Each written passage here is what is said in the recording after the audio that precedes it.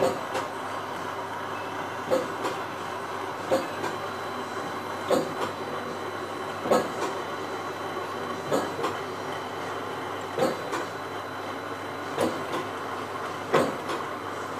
y avait M. Absil aussi qui travaillait sur le noir en Belgique.